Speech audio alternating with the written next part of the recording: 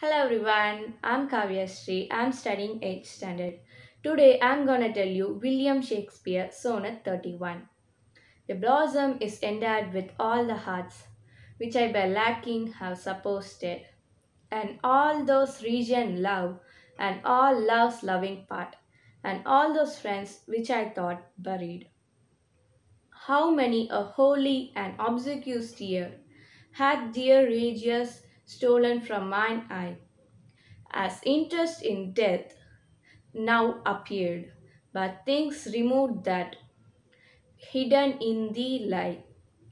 Thou art the grave where buried love doth lie, hung with the trophies of the lovers gone.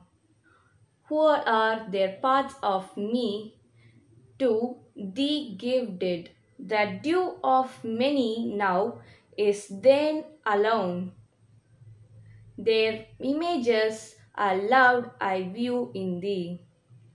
And though all they heads all the all of me. Thank you.